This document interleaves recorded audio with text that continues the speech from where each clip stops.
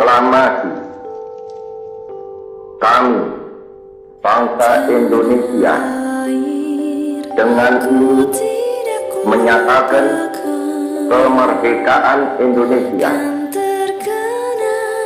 Hal-hal yang mengenai pemindahan kekuasaan dan lain-lain diselenggarakan dengan cara saksama dan dalam tempo yang sesingkat-singkatnya